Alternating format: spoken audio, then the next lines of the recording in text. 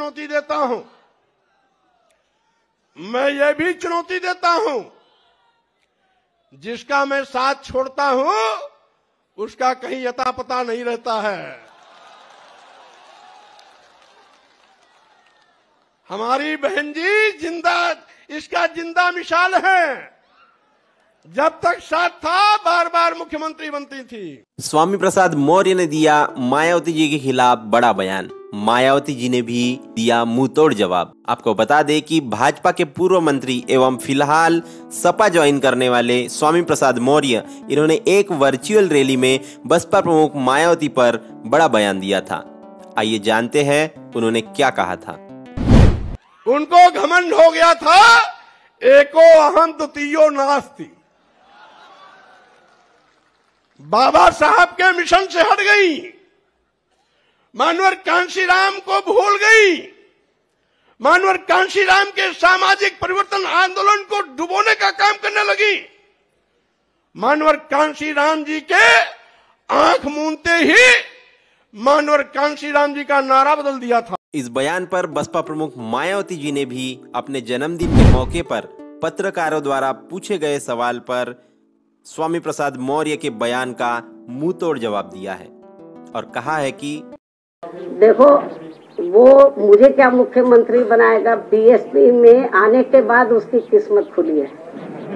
पहले वो बहुत पार्टियों में रहा, वो कभी चुनाव नहीं जीता। आप इतिहास उठाकर देख लो उसका राजनीति। बहुत सी पार्टियों में रहा, जनता दल में रहा, लोक दल में रहा, किसी भी पार्टी में वो चुनाव नहीं जीता। जब वो बीएसपी में आया तो पहली बार उसकी किस्मत खुली और वो एमएलए बना। तो ये जो हवा हवाई बातें हैं तो वो बेकार हैं। तो इसलिए जो मैं आपको ये बताना चाह रही हूँ कि ये ज़रूर जिस भी पार्टी में जाता अभी जैसे बीजेपी वाले उसको ढो के चलते रहे पाँच साल तक, उसको समझाते रहे, भाई हमें सर्व समाज को लेके चलना है। तो लेकिन वो नहीं माना। तो अब आप तो देखो उसकी लैंग्वेज आप लोगों को मालूम है उनकी लैंग्वेज किस किस्म की है।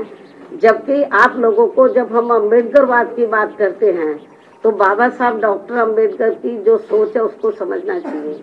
बाबा साहब डॉक्टर अंबेडकर किसी भी जाति और धर्म के खिलाफ नहीं थे। वो जातिवादी व्यवस्था के खिलाफ थे। इस देश में जो गैर बराबरी वाली सामाजिक व्यवस्था बनी है, उसको बदलकर वो समता मूलक समाज व्यवस्था बनाना चाहते थे। और इस व्यवस्था को बनाने के लिए बाबा किनको सामने आना होगा, जो इस व्यवस्था के शिकार हैं। तो जो इस व्यवस्था के शिकार हैं, उनको अपर कास्ट को भी साथ में लेकर, जब सर्व समाज में भाईचारा पैदा हो जाएगा तो तभी तो समता मूलक समाज बनेगा।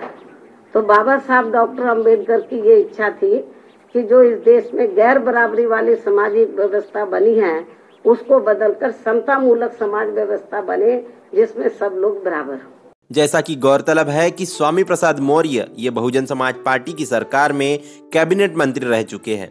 लेकिन बसपा की सरकार जाते ही वह भाजपा में चले गए थे, एवं योगी आदित्यनाथ इनके सरकार में वे कैबिनेट मंत्री रहे हैं, और अब वो अखिलेश यादव के पार्टी में चले गए हैं, जिसके चलते मायावती जी ने उन्हें दल बदलू नेता कहकर उन पे विश्वास नहीं किया जा सकता ऐसा बयान दिया है। इस संदर्भ में आप क्या सोचते हैं, कमेंट करके ज़रूर बताएँ। बने रहे द थिंग पर। तब तक के लिए जय भीम, जय भारत। बहुजन विचारधारा को घर घर तक पहुँचाने के लिए हमारे YouTube चैनल को सब्सक्राइब करें, लाइक करें, कमेंट करें, शेयर करें और बेल आइकन की घंटी दबाना ना भूलें।